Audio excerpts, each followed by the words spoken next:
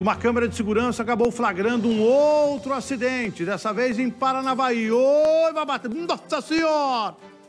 Que porrada, hein? Caramba! Olha lá. Agora a pergunta. Aqui tinha que parar, né? A placa de pare aí, ó. Tá vendo? Era para parar. Porque lá tem o semáforo, mas o semáforo é para avenida. Então a pessoa que vem pela marginal tinha que parar.